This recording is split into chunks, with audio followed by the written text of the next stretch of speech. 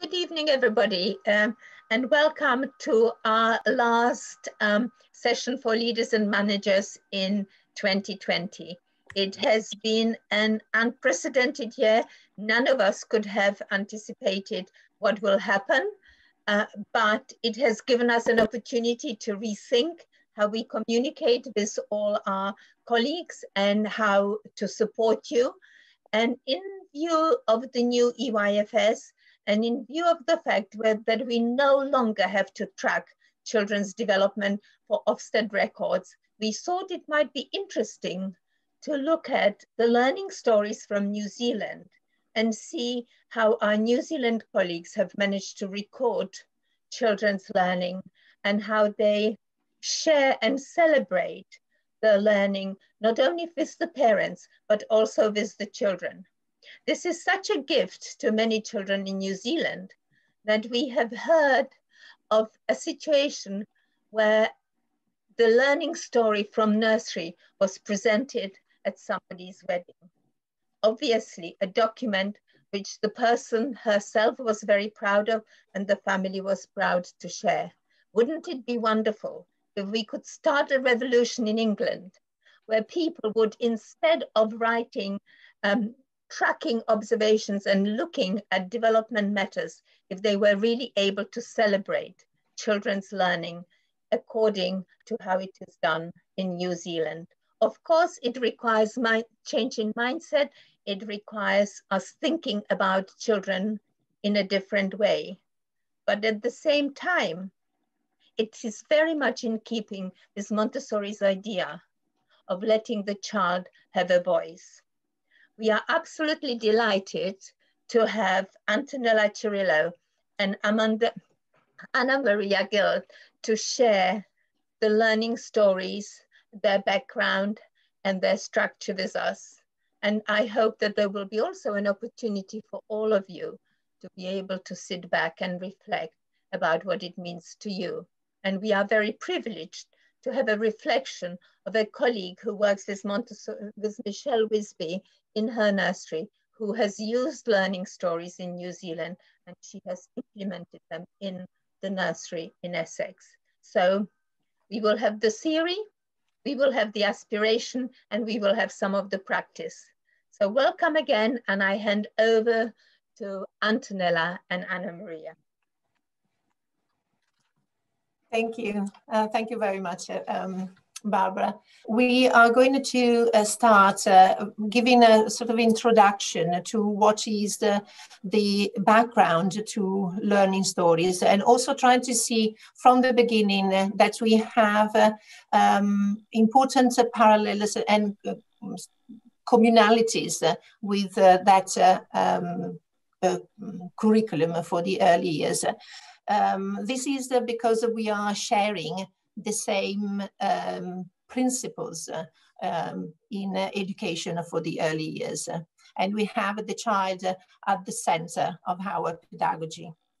Um, so just to um, really reminding us uh, of the, uh, that um, learning stories uh, are stories, so they are narratives.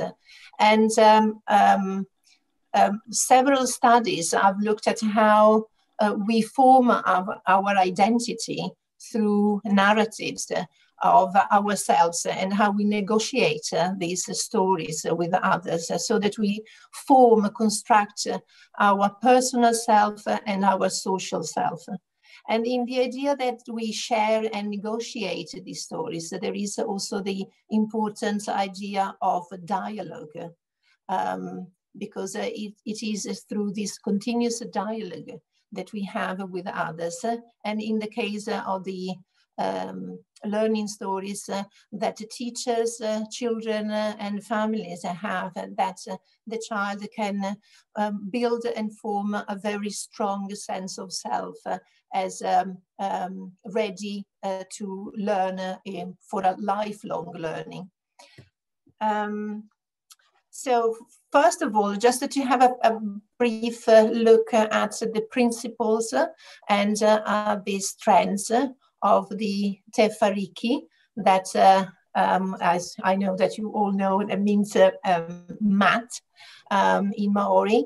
And um, uh, so on the four principles, then uh, based uh, on the aspirations for what uh, the um, earlier curriculum in New Zealand wanted to um, offer to children, we, um, we, then we see that the strengths and all the um, um, goals that are related to that to those. So the four principles are um, relationship, because uh, it's uh, um, so important to uh, keep in mind that children learn through uh, reciprocal relationships with people, but also with um, uh, places, uh, with things.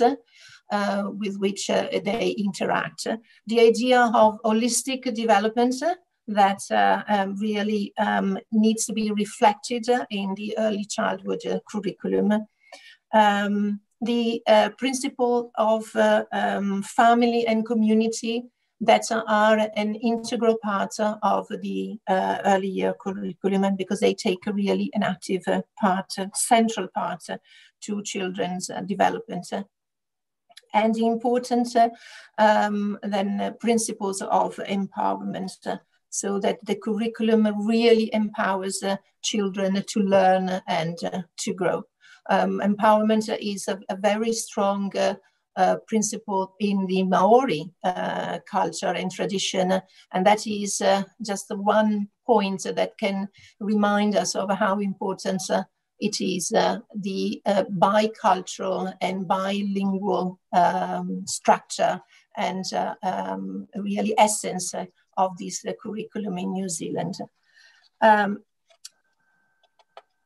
they are um, woven these principles with the five strands and they form the first base and mat on which the child can stand really empowered in um, growing and learning and in uh, contributing to uh, the community.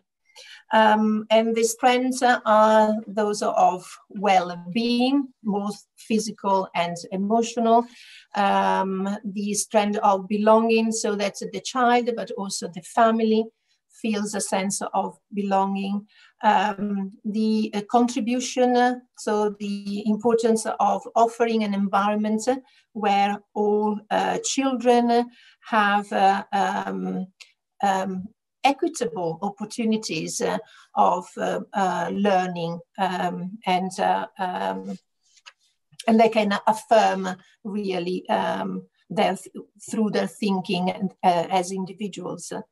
Um, communication, so the developments that children uh, um, achieve in uh, using what we know as 100 languages um, in line with a, a um, approach.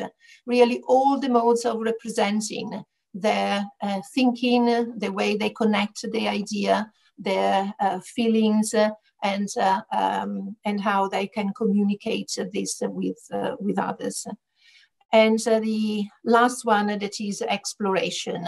So um, the awareness that children learn through exploration um, active uh, engagement with the environment uh, um, so that their play is valued, um, is um, um, meaningful learning, and uh, and all the opportunities are offered and recognized for children to uh, for their exploration, their thinking, their reasoning, their problem solving, making sense of the world um, around them.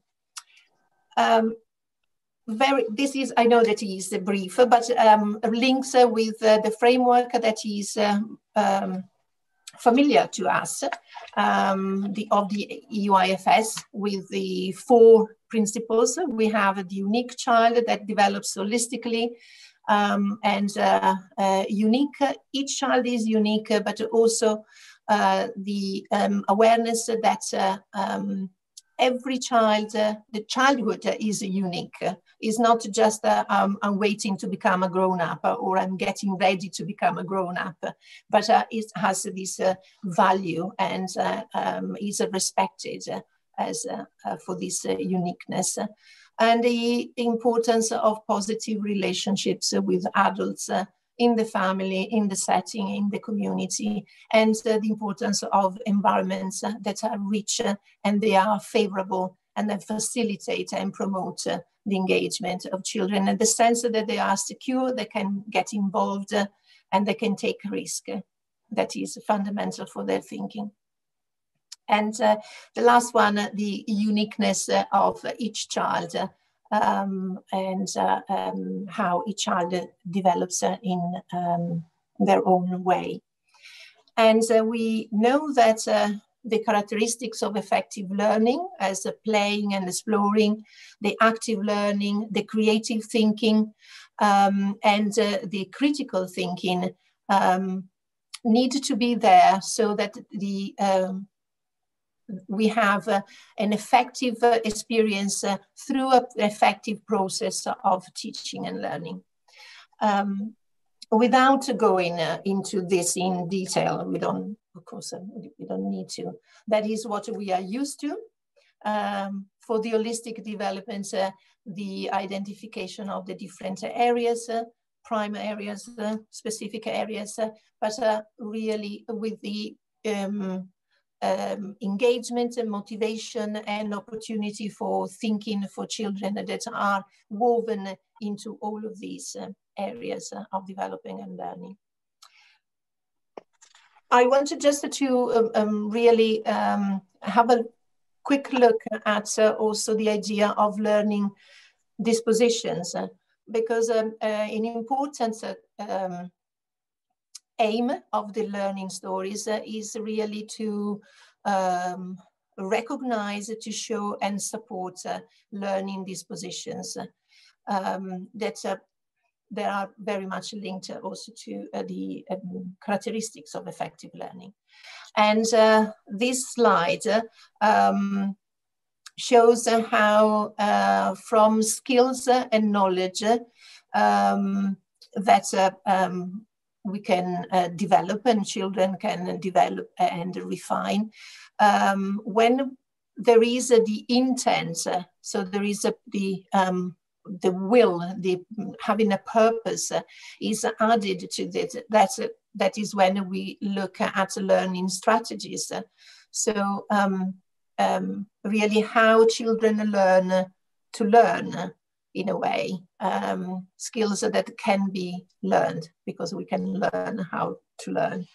Um, and so when the learning strategies are really recognized as situated in an environment where there are partners, um, adults, children, there are tools, there are resources, there are cultural um, bank of knowledge, when everything is uh, put together then is when we have a situated learning strategies. They can't uh, uh, be um, expressed um, in a vacuum, but they are always uh, in, a, um, in a real situation uh, that the child uh, lives and uh, experiences.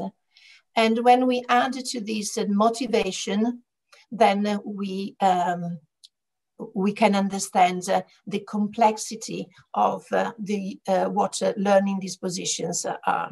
Really bringing all together these uh, different layers, uh, like a nested, um, um, what do you call them? Um, Russian dolls, almost. that, and we see that the learner is ready, willing, and able to learn. And that is what we um, very much needed to um, nurture and uh, support uh, for, for children. Uh, being uh, ready means to have the inclination to uh, see what is possible there and how I can engage. Being willing is uh, to um, to really uh, feel and, and, be sensitive to the space, to the time when uh, it's possible to um, engage and being interested and, and then able other skills and the knowledge that can be applied and can be used. So we are really looking at uh, knowledge, skills, um, working theories of um, that children develop and how they can use their knowledge, their previous um, understanding, their skills in the new situations. So learning how to use this in um, to make sense of new experiences and take on new challenges. And uh, in fact, the, the, um, uh, the skills that are um, there necessary to, for those. These are the five domains, uh, how we can recognize, uh, how can we um, been able to look for somehow and uh, and then to see them when we uh, uh, we see expressions of these learning dispositions. And um, the five domains of learning dispositions are really the um, inclination and the sensitivity to the uh, situation, to take an interest um, and to be involved. And that means uh, also to be uh, to see others uh, interested and interesting in what we do, um, and be involved is also um, just having a sense of ourselves and with children having a sense of being someone who gets uh, involved. And, uh, and because he's involved, he's uh, taking possible uh, risks, um, is uh, fully engaged, is also able to um, persist with possible difficulties and with uncertainties. Um, I like this because it has to do with uh, uh, taking risks uh, in um, making hypotheses, in trying out things. It's not only about the physical risk of climbing a little um, higher, um, and um, and also to stay with what uh, is uncertain without uh, knowing that. Uh, um, there is the ability and all the knowledge that is necessary for um, uh, um, continuing to be uh, to work and to make sense. Um, and um, and then there is uh, the um, communication with others using all the different uh, um, modes of representing what uh, the child is doing, what we are doing, and uh, and then taking responsibility um, so taking responsibilities uh, for the um, choices uh, that, that, the child uh, um, makes, um, the way um, decides to work through um, something, a task, a goal that uh, has uh, in, in, uh, in his mind. Um, taking responsibility for um, um, trying to realize something uh, that is uh, just uh, in their mind and and try out all the skills and taking the responsibilities also um, for others and towards others in in this mutual respect that of course happens through this engagement but then has all these ripples of uh, um, uh, taking responsibility as a citizen. And uh, um, um, so that goes beyond the, the, the setting, goes beyond the activity where the child is engaged, but it is really um, um, expressed and exercised in the community. So, um, I wanted to share just this, but only few of these eight principles of effective early years assessment. Um, this comes from um, Jan Dubiel um, book on uh, effective assessment in the early years uh, foundation stage. And uh, um, I think that uh, um, I just well, there are all important, but I, I would like just to touch on the first one that is uh, um, uh, that the uh, assessments uh, in order to be uh, effective need to be accurate and authentic. And um, accurate is because it's based on um, observations um, and repeated observations. They're those observations that the practitioners that keep on uh, doing all the time through the uh, the day, not the formally recorded uh, that take ages to write down, uh, but it's really is uh, um, is this accurate recording, but they also authentic, and in order to have this um, authentic and accurate assessment. That means that, that needs to be to involve everybody that is uh, um, uh, central to the um, uh, to the assessment, and so all adults that know ch the child need to be um, able to contribute uh, to this uh, assessment.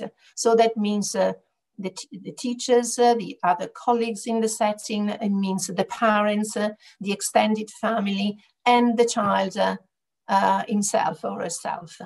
Um, so that uh, um, it is uh, really that kind of shared and um, three-dimensional, 3D picture of, of the child. And um, this uh, um, quality or this principle is really central to um, learning stories.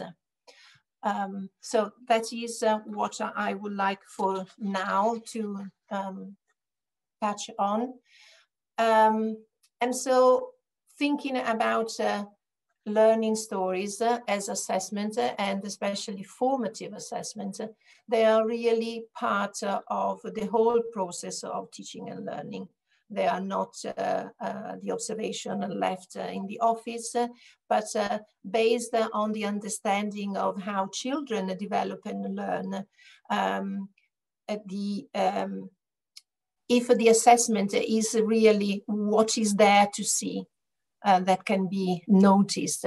And uh, if it is uh, about how best we can understand what we see, so that then we can um, put our understanding to good use. it is, is really what we, we see in the learning stories. If you look at the definition of um, what is assessment, at the very top. All this comes from Mary Jane Drummond that uh, has uh, written a book on assessment. Um, um, defined simply, assessment is practitioners and knowing the children they work with, understanding their learning and being able to link this with the next step in progression and uh, development. And this is really based on the principles of our pedagogy, um, knowing how children learn and develop, um, so that we can uh, then um, understand uh, what we see. Because we know that particular child, but also in light of what everything that we know, our professional knowledge um, of how children uh, develop and learn, and then that informs uh, um, what we can, how would we understand this, uh, and in order to see possible lines of development, uh, possible progression. I think that I might, yes, I leave uh, this to Anna Maria now to look uh, more in depth in learning uh, stories. thank you very much, Antonella. Hello, everybody. Um, thank you so much for uh, painting such a fantastic context and background to the learning stories and how they have come about. So, the learning stories were developed to enhance children's sense of themselves as capable and able learners, which was very important um, to mirror a curriculum that was so very uh, deeply rooted in culture, in socio-cultural aspects. It also reflects a holistic way children learn. Children learn. It also encourages a reciprocal relationship between the child and the environment and uh, family, and as it involves the parents, as Antonella has said already. So, why why the stories? Uh, stories because stories can evolve. stories can be um, constructed together, and that is the beauty of the learning. One of the beauties of the learning stories, I would say. So when you look at the spiral, um, this green spiral, um, the first three parts of it, noticing, recognizing, and responding, we do anyway. So we notice when a child is going to do something, um, recognizing the activity and responding to the child's will. Um, then we are going to record. Now we are going to record that as a as a narrative observation. And however, with the narrative observation, we are also can take we can also take videos or pictures, photographs, and and enhance this narrative observation. However, as I say, it's still just a narrative. What makes it into a learning story is that we then add our own perspective and we reflect on the learning.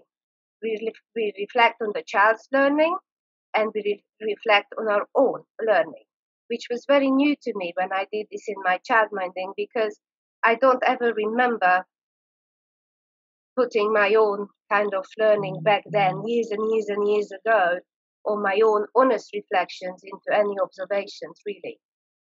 So, revisiting is uh, revisiting and reviewing is very important because um, when a child revisits the learning stories, their own learning story, there's a, a really, really valuable um, uh, knowledge building in revisiting that we've done before. So, for example, um, there's a very, very nice example to this where, the, where a child makes a slipper for his mom and the mom receives this pair of slippers and they are wonderful. But then, of course, this is evidence, of course, this is uh, documented. And then later on, the child can look back at this and say, Oh, I've made those slippers for my mom. Now I'm going to make slippers for someone else, or I can make them better, or I can use different materials. So it's a motivation to be able to revisit and review and also uh, and this is why all the learning stories need to be always accessible for the children in the classroom and so you can see that this is not going to be an observation that you write and then you send home and then you forget about it. Um, it has different dimensions and as montessorians i think we are quite familiar with dimensions. So there are five dimensions here and that that they are agency breadth, continuity, distribution, and emotion. Agency is important because we want to hear the child, child's voice.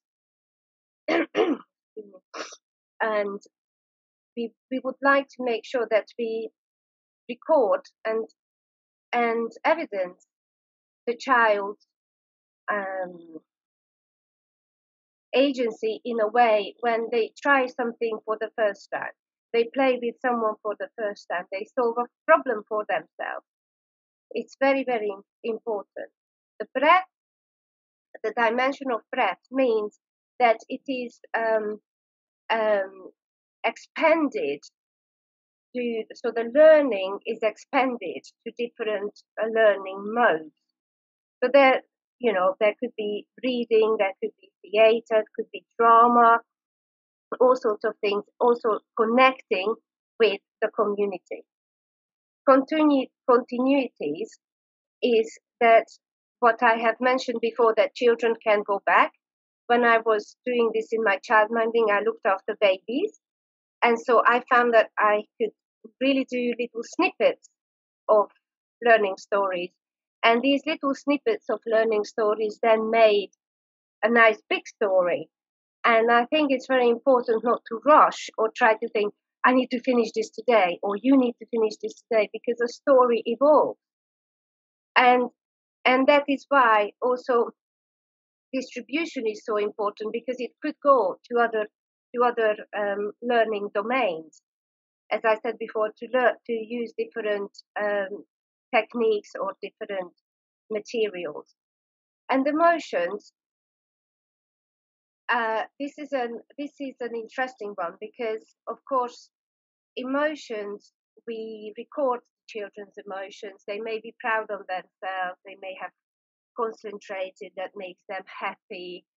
Um, but also, the emotions here show that when you record and you reflect as a practitioner, the learning uh, stories also construct you yourself as a teacher because you will put it, I'm very enthusiastic or I'm very happy or I'm very excited about this.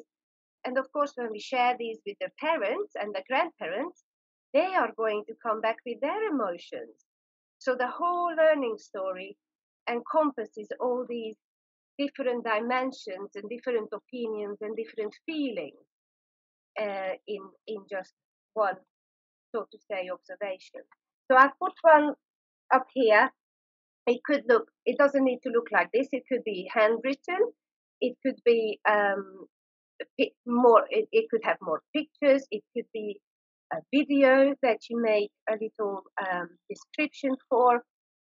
But of course, there are always uh, practical considerations.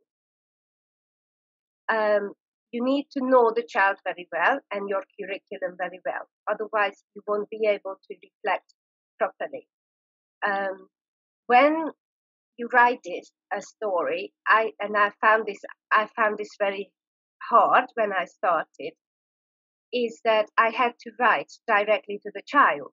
So you have taught me this, you showed me this, not saying Johnny did this and this. Uh, it sounds very easy, but um, you know when you start, you have to kind of reprogram your brain a little bit. Um, need to remember to ch- to include the child's voice because we want this to be authentic. And and when we when we write a story, we always want to focus on what the child can do, not what the child needs to learn to do. And that's why the learning stories are so beautiful because you can actually uh, learn so much about the children's strengths and interests and. And passion. Um, it's quite a good idea to take lots of pictures during the day and then put them together at the end when you kind of have a story for yourself. And I think I left time for the last one here because time is absolutely crucial to, to have a lot of in terms of thinking about the story and thinking about the child's experiences. So I would say that you need to kind of slow down and be present in the child's presence and wonder with the child. And then the story is going to be magic because you will see the magic in the child. And that's how it's going to be beautifully authentic. Now, sharing the learning stories is absolutely crucial. There are some children here who are sharing their own stories with their friends. And as we heard, someone shared a learning story in their own wedding. I mean, that's just amazing. Uh, they are very, very special. So I think um, it's very important again to have this the five dimensions to each story. We share them with the parents. The parents then add their own take on it and their own emotions and their own um, observations. And that's how it is beco- going to become a whole uh, beautiful story. So to me, the learning stories are all about connections and relationships between the child and the practitioner and the family and the environment. And through the stories, you can you can evidence There's one more thing I would like to mention is the child's uh, the child's questions, which um, Cats come up with. Uh, there was a project they were thinking, how could we um, assess quality? And they come up uh, with this idea to assess quality in a provision through the child through the child's eye, which um, I really really love because I also, I'm also an advocate of listening to children. And to me, when I'm thinking of these um, uh, questions, especially when I was working with the infants, I was thinking, do I let, do I, do, do I know them? Can they trust me? And this was a really, really honest self reflection from me as a person, as a practitioner, and of course a reflection of, of quality of the of the provision. And um, I leave this here because um, it is, you know, as Montessorians, we also think about following the child and trusting the child. And I think the learning stories as we as as they come as they become stories and the children show us where to go next, how to how to uh, plan ahead, um, we can actually see that their decision is always much better than ours, or mine was anyway. And so I think it's very important to see the world and to see the learning through the children's eyes. So, do you know me? Can I trust you? Do you let me fly? Do you hear me? And is this place fair for us? They are all connected to the strands of the Te Whāriki, and that's why um, they are still using them as a quality assessment in the setting. So I'm very sorry that my connection may be not very good, but we have come to this the end to the end of this part, and I'm going to hand over to Antonella now. Um, this is the very last slide of the presentation before the your reflection. Um, maybe you've seen in um, the blog the quote about uh, Montessori uh, writing uh, the import of the importance of the observations. And uh, um, she writes, uh, as we observe children, we see the vitality of their spirit, the effort, the intuition, attention, and focus they bring to all life events. This is what we see.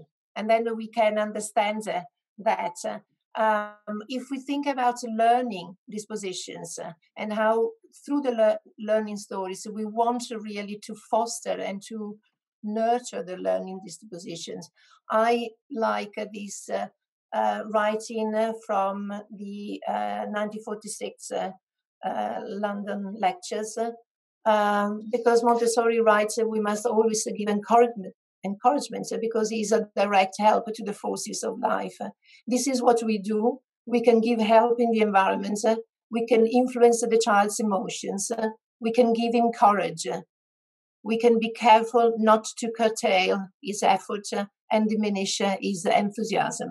So I would uh, somehow go back to this uh, idea of uh, full, deeper respect for the child, valuing all the contributions uh, and um, uh, the idea of empowering the child, um, like uh, Barbara was uh, um, summarizing before. And for me, is um, is beautiful this uh, um, little thought from Montessori. Thank you very much, um, Antonella and Anna Maria, for this um, whistle tour through Te Whāriki and the learning stories. I hope that our participants have um, received some inspiration from this work. I absolutely love the questions that Anna Maria posed for us um, when looking at um, sense of belonging and trust. Just think what revolution this would be if instead of ticking a box, thinking if the child is meeting the learning goal or working towards it, if you would be thinking about your relationship with the child and the relationship the child has with other children in the environment. Um, please, please give it some thought for the children um, as you come to work with them after Christmas. Christmas time is often time for reflection. And the new EYFS will give us an opportunity to rethink how we work. Um, so please uh, think about that.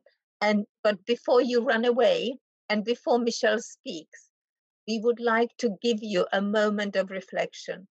Please think about what you would like to take to the children tomorrow, next week, maybe in January or in the new year. And maybe you would like to think of the message you will write to a child tomorrow as you are thinking about them. Also, think about um, your um, learning journeys which you are making in your settings and um, how they could incorporate these learning stories because the learning journeys are kind of hybrid of the learning stories from New Zealand. We just didn't quite get there um, because we have always focused on working towards the early learning goals instead of thinking about getting to know the child and who the child is. And I hand over to Michelle, who uh, is our partner in delivering these webinars and who will also share information from her colleagues. Hi all, um, I'm sorry you're having to hear my voice again today. Um, Joe was hoping to be here, who um, manages one of my settings, but unfortunately, um, real life got in the way for her tonight. So she has asked me to, um, she's just written a short piece to share some of what she was going to talk about um, tonight. So, Joe, um, the reason that this came about is because Joe is from New Zealand, and so she had experienced um, being on the other side um, of um, learning stories uh, with her son. So I'm just going to read to you what she has written, and hopefully you will hear her messages from it, both from a parent's perspective and also from somebody now who is implementing this um, in the UK. So she writes, firstly, as a parent, the power of Dylan's learning story, aged three, has stayed with me ever since. He is now 15.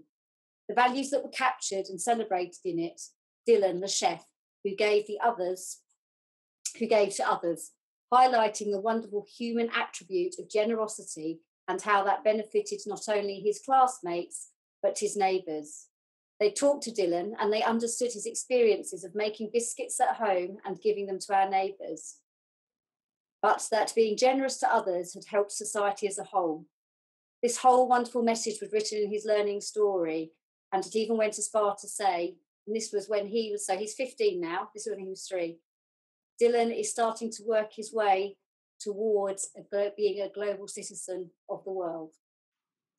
Implementing learning stories at Westwood, so at her nursery. The staff response has been that it makes recording observations more meaningful by addressing a story to the child, it creates a different kind of narrative that has more heart in it. Staff found teasing out the value of the learning being observed. Staff found teasing out the value of the learning being observed tricky at times, but when we chatted about it in small groups, we ended up with brilliant discussions and all sorts of insights were made between us and with the children, and then later on with the parents. They'd taken about six to eight pictures of each child and have slowly written up long stories with each picture, putting them into sentences of the learning observed and how we can build on this. Other challenges the staff have found is waiting to observe educational moments in the past and then dismissing other types of play. So we're working at really looking at the interests of the child, where they are at, at their most engaged, and where they really are their free self. How can we capture that? How can we work through that in the setting? lots of pictures need to be taken, lots of moments of reflection with the child, and then we talk through it. Linking what is seen to a bigger picture of ideas.